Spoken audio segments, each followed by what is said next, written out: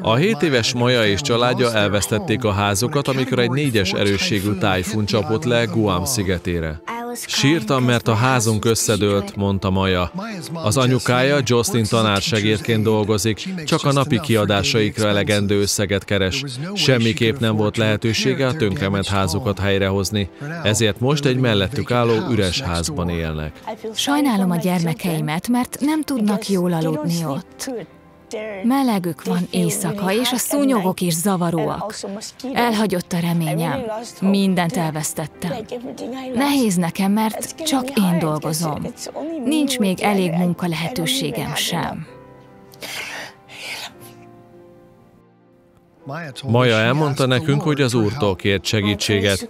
Imádkoztam Istenhez, hogy hozza helyre a házunkat, és segítsen nekünk, hogy ott lakhassunk.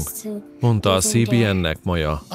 Rövid időn belül az Operation Blessing megjavította és újjáépítette a megrongálódott házukat, mostanra az egész család visszaköltözhetett. Ezt követően a segélyszervezettel együtt dolgozó gyülekezet pásztorának segítségével Justin elmondta a megtérő imát. A gyermekeim nagyon boldogok, hogy a házuk újjáépült, és jobb, mint volt. Most a gyerekeim jól tudnak aludni. Köszönöm Istennek, hogy válaszolt az imámra, és hogy van egy új házunk, mondta a CBN-nek Maja.